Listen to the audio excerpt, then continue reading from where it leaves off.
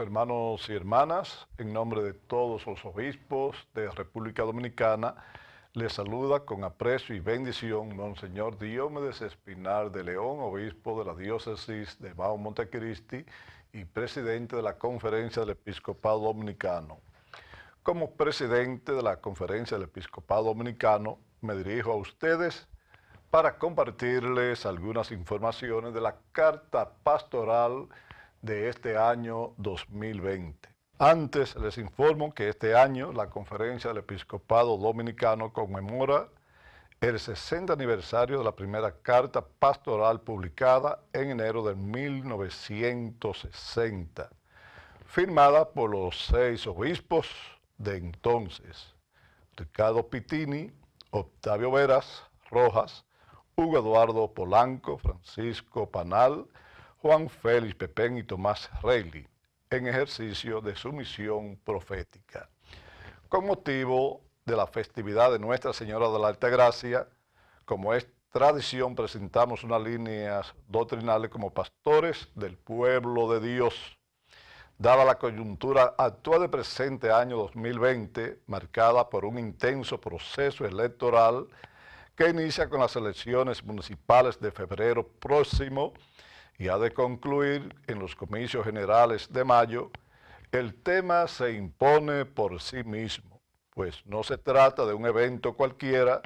sino de la elección mediante el ejercicio del sufragio de las nuevas autoridades que dirigirán los destinos del país en el próximo cuatrienio. De ahí la importancia de lograr el éxito de los primeros comicios para obtener garantías de éxito en los segundos. De la misma forma, se impone un llamado a estudiar y reflexionar acerca del acontecer nacional por sus complejas realidades y sus enormes desafíos, motivándonos a compartir un mensaje en el cual expresamos nuestras preocupaciones y esperanzas en relación con la presente coyuntura, al tiempo que proponemos algunas ideas y posibles líneas de acción, confiados en que su acogida sirva de aporte en la impostergable tarea de continuar transformando las condiciones de vida del pueblo dominicano y la consolidación de sus instituciones. La autoridad legítimamente constituida viene de Dios, aunque la designación de los que gobiernan se define por la libre decisión de los ciudadanos, quienes están obligados en consecuencia a obedecer a la autoridad civil. En tanto, a los electos les recomendamos que lo anteriormente dicho no implica sentirse imprescindibles o llegar a creerse mesías político. La autoridad del mismo Jesús no es un privilegio, es un servicio que supone capacidad con cualidades específicas como son sobriedad, educación, sensatez, autoridad, dignidad, autenticidad y transparencia. Desde su creación, la Conferencia del Episcopado Dominicano ha puesto atención a los procesos electorales nacionales defendiendo el rol importante que juegan los partidos políticos en la vida democrática y afirmando que la Iglesia respeta la libertad de elección. En varios momentos nos hemos referido a la participación de los fieles en la política como un deber ciudadano y al imperativo de optar por las propuestas que defiendan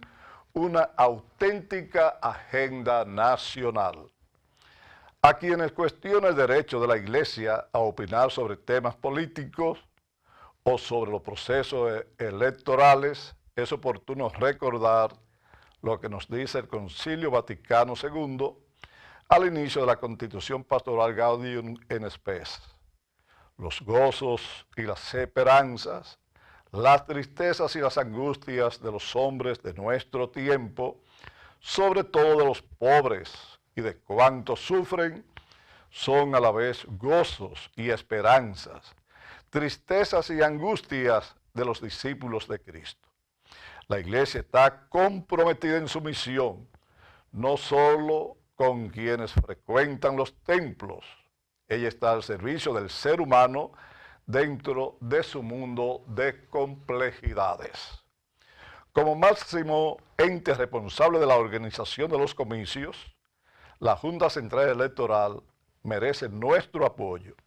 y el de todos los dominicanos, sobre todo en orden a velar por la dirección de un proceso electoral transparente, tanto al momento del sufragio como al de conteo de los votos, que son donde suelen producirse las principales quejas. No se puede admitir la práctica corrupta e ilícita de compra y venta de cédulas a la vista de todos, evadiendo responsabilidades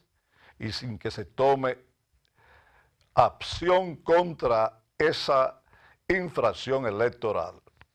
Urge que las propuestas electorales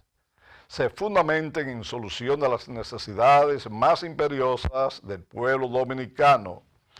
evitando las intrigas, calumnias y manipulaciones propias de las denominadas denominada campaña sucia, así como el despilfarro de recursos económicos en la publicidad desmedida. Exhortamos a quienes aspiran a cargos públicos en esta contienda electorales a tomar en cuenta en sus discursos nuestra realidad actual, el escenario de inseguridad y violencia que estremece a la familia y a todos los sectores de nuestra sociedad no puede ser reproducido por nuestros líderes políticos en una batalla que denote inmadurez y poco juicio. Apelamos a la sensatez para que dentro de sus planes coloquen a la familia en el sitial que les corresponde como institución vital en una sociedad que ama y respeta. Rogamos a Nuestra Señora de la Alta Gracia, protectora del pueblo dominicano, que interceda por nosotros ante su Hijo Jesús y que nos ampare en este caminar entre luchas y esperanzas. Les bendice todos los obispos de nuestro país. Que Dios les bendiga y que la Virgen de la Altagracia les proteja siempre. Muchas gracias.